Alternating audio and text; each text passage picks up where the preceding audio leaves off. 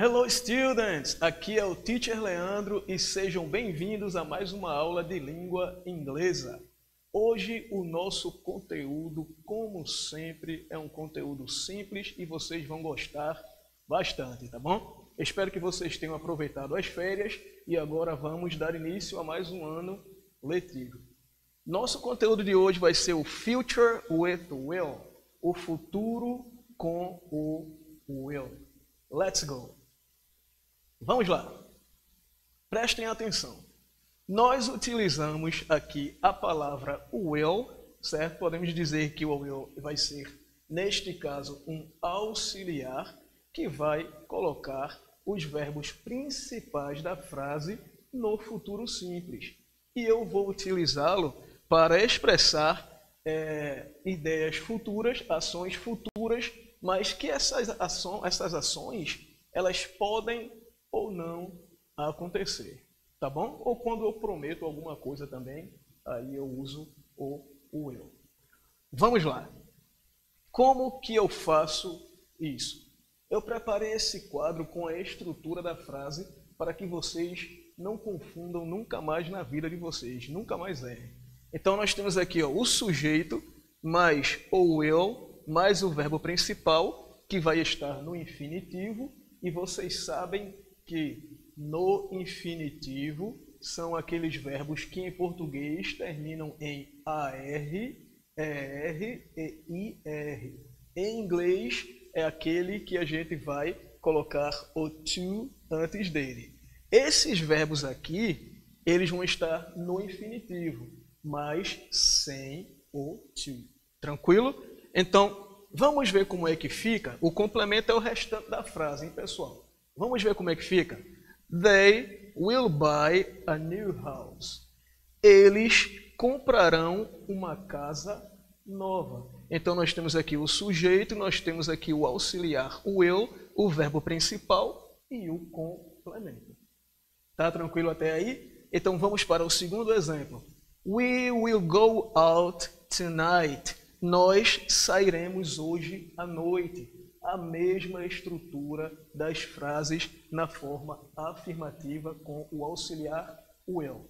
Então, como que nós vamos utilizá-lo? Da seguinte forma: sujeito, we, nós temos aqui o auxiliar will mais o verbo go, que é o verbo principal da frase, e o complemento.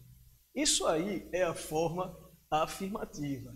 Porém, para fazer a negativa, é mais fácil ainda do que a afirmativa. Por quê? Porque você vai apenas acrescentar o not depois do auxiliar o eu. Lembrando também, pessoal, que eu tinha colocado aqui para vocês prestarem atenção, que às vezes você não vai achar na frase o I, o eu. Você vai achar o I, que no caso seria aqui a letra I maiúscula com o apóstrofo e os dois L, indicando a mesma coisa, só que de forma abreviada. Tranquilo? Então, I will visit my cousin tomorrow. Poderia ficar I'll visit my cousin tomorrow, que traduzindo ficaria visitarei minha prima ou meu primo amanhã. Tá tranquilo? Então vamos continuar. Olha o que eu tinha dito para vocês aqui, ó. Sujeito mais o eu, mais o not, mais o verbo principal, certo? Que vai estar no infinitivo e o complemento. Lembra que eu tinha dito para vocês que ele, que ele estaria no infinitivo, porém sem a partícula to antes dele, tá bom? Grave isso aí também. Então, como que ficaria uma frase negativa com o auxiliar will é, aqui no Simple Future. Ficaria da seguinte forma: They will not buy a new house. Eles não comprarão uma casa nova. We will not go out tonight. Ou we won't go out tonight. Professor Leandro, o senhor leu agora de duas formas diferentes é, duas frases que tinham a mesma tradução. Como assim? Lembra do I'll que eu tinha falado para vocês que era a forma abreviada do I will? Então, para a forma negativa também existe, certo? Uma maneira abreviada de escrever, de falar, que seria o won't. A tradução não muda nada, certo? É só uma forma de abreviarmos aqui a frase.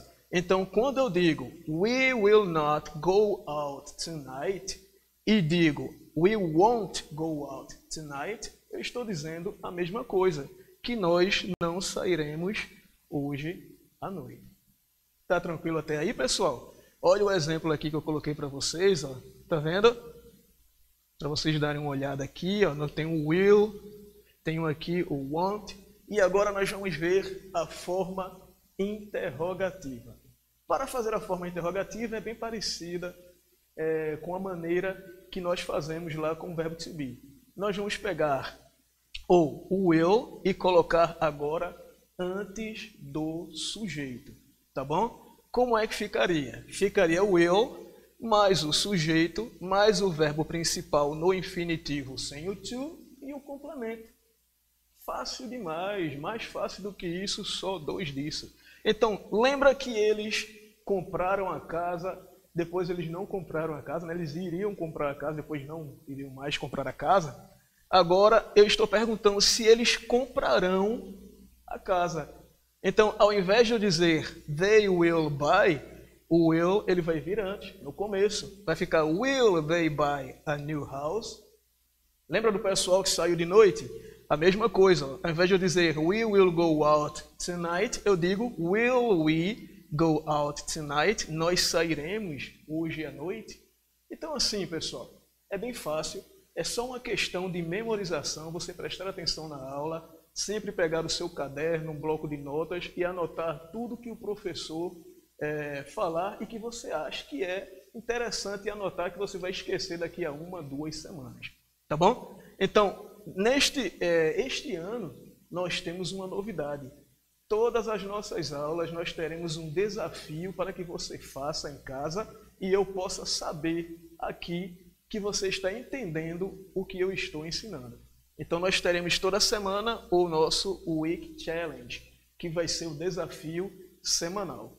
Como que você acessa isso aqui? Pega a câmera do seu celular, aponta para a tela da sua TV e você vai ser direcionado automaticamente para o seu desafio.